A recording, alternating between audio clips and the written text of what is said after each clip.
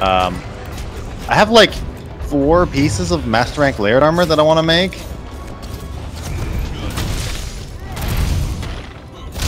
Because the main thing is like I want to have different. Um, I want to have different layered armor for when I'm using a different weapon, just so like it's harder to get confused, and I mean also just Cool. works.